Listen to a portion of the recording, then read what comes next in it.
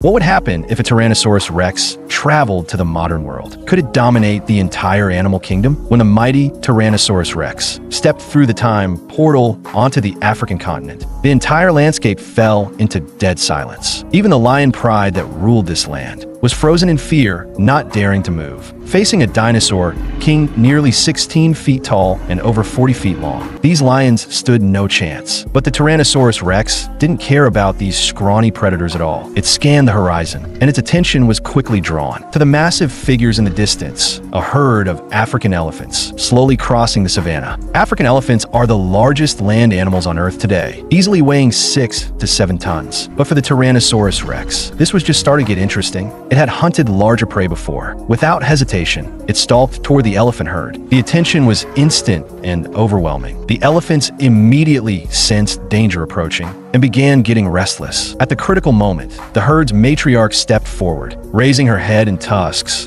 letting out a deep, rumbling warning, as if telling this invader to back off. Too bad the Tyrannosaurus rex takes orders from no one. It opened its massive jaws, revealing teeth sharp as knives and went straight for the elephant's neck. But the elephant's neck was thick and powerful, giving the Tyrannosaurus rex no clean angle of attack. Those long, thick tusks were like two natural spears, pointing directly at the Tyrannosaurus rex's head. Realizing brute force wouldn't work, the Tyrannosaurus rex quickly changed tactics, using its astonishing bite force. It bit off one of the tusks, swiftly moved to the elephant's flank, and bit down hard on its front leg. A heart-wrenching cry echoed across the plains, and the massive body crashed to the ground with a thunderous boom. The Tyrannosaurus rex pounced, going straight for the throat, tearing through flesh. Soon the bull elephant stopped breathing. This battle once again proved the Tyrannosaurus rex was still the ultimate apex predator. Even after 65 million years, it could still claim the throne